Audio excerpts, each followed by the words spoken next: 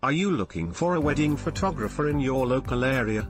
Do you have your big wedding day coming up, and you have yet to find a suitable wedding photographer?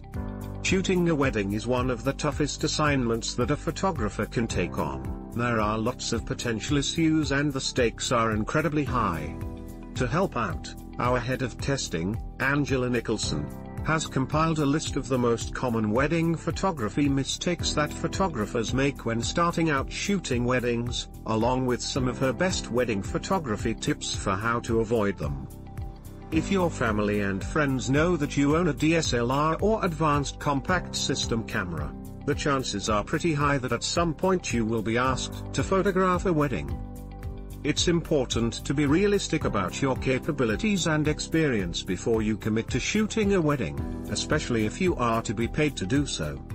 Be honest with the couple about your experience and don't allow anyone to bully you into taking on the job to save money if you are not confident. It's also important to have the right kit. Ideally you'll need two decent cameras and a selection of lenses along with a couple of flash guns. What's more, it's absolutely crucial that you know your equipment inside out and are confident in using it.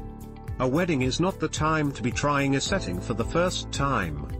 If you are looking for a professional wedding photographer in your local area, call us today.